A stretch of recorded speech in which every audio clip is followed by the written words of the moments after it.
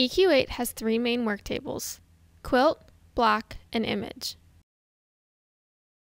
These buttons will always be up in the upper right of your screen for easy navigation among the work tables. You can also change work tables through the menu. What is a work table?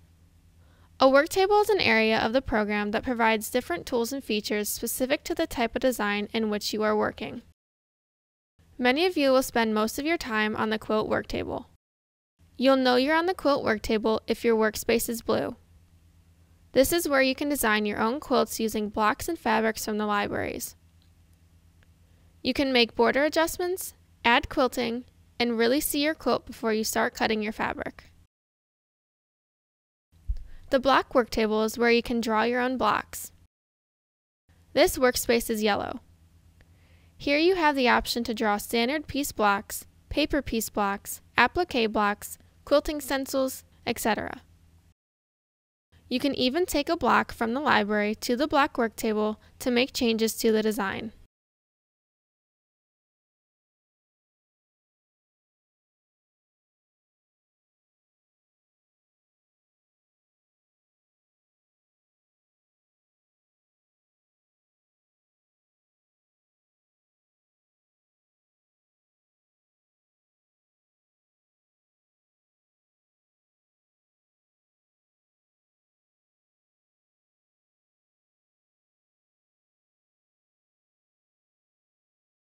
Once you've drawn or edited your block, you save it to your project and can now move back to the quilt work table to use your block in a quilt.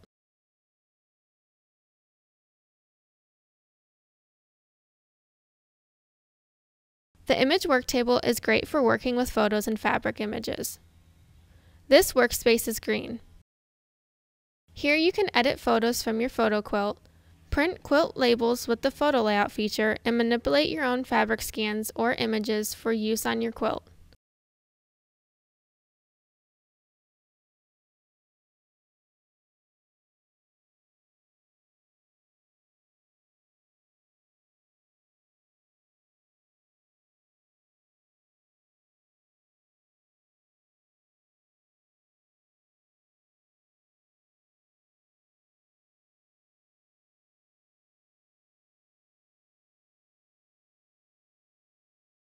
Take a picture, rotate, scale, crop, and save.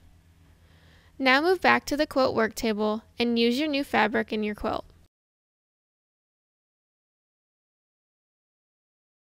Moving among the work tables is so easy. Watch the other videos for more specifics about each work table.